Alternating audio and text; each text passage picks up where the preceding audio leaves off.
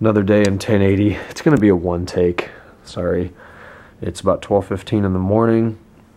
Um, let's see. Today has been a really, really physically exhausting day because I blew leaves today for over four hours, about four and a half maybe.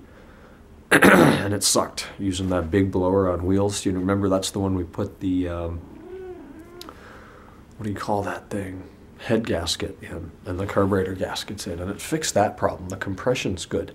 My problem right now, actually, there's three. The handle was really loose in comparison to the motor, so that was easy. I got a 7 16 crescent wrench and fix the handle.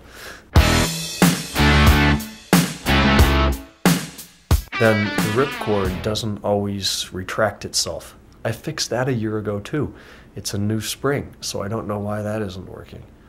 Um, it is right now, but sometimes it doesn't. So if it continues not to work, I'll have to take it apart and look at it.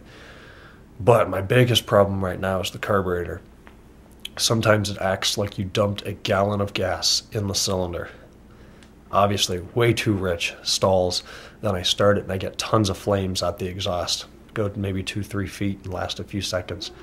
Then sometimes it acts like you took all the fuel away from it completely. It's like you turned the, the switch to turn it off and it just, you know, spools down from full throttle and stalls. And then you turn the switch and you, sometimes it, it helps when you, when it's falling from full throttle to nothing. If you shake it a lot, it comes back to life. So I'm thinking it's the carburetor. I bought a rebuild kit. It's sitting in my desk. There's like 40 pieces the size of my pinky fingernail. There's no way I can put that together. Plus, it should be cleaned right, anyways, acid bath. So I'm thinking when they take the mower in for its yearly service in December, I'll give them that too, give them the rebuild kit, and hopefully it's only an hour's labor. so we did my whole yard, both sides, front and back. Neighbor, all the front yard, half the backyard that was bad, and all of the side yard. Today was the most leaves I've moved this year. I would say I'm a solid two thirds done. We're in pretty good shape. It's pretty clean right now. I'll probably have one more big cleanup and then a couple small ones. Maybe I blow for an hour or maybe I mow the yard to mow them off. So that's that's good news. Did my accounting stuff today getting ready in preparation for tomorrow's class. Since we had an exam last week, I had to catch up on that, so that's done. Did all the emails, did the watch later playlist. There's three videos left. I'm gonna do them when I go up and get into bed in a half hour. I got a shower, and I gotta get into bed, and I gotta throw a vlog up. E39 source video went public yesterday, another one going public tomorrow, and I'm fairly certain we have one lined up for Wednesday.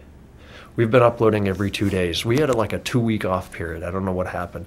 And now we've been going every two days for uh, about a week, maybe a little more. So we're getting a lot done and I'm feeling it. So I'm going to go up, wrap this up. Sorry I didn't film anything today, but uh, an update with what happened. But that's what today was. Sundays are now full catch up, do the work that didn't get done during the week and prepare for the next week. But I guess that's all right. You need a day like that for transition. 1220.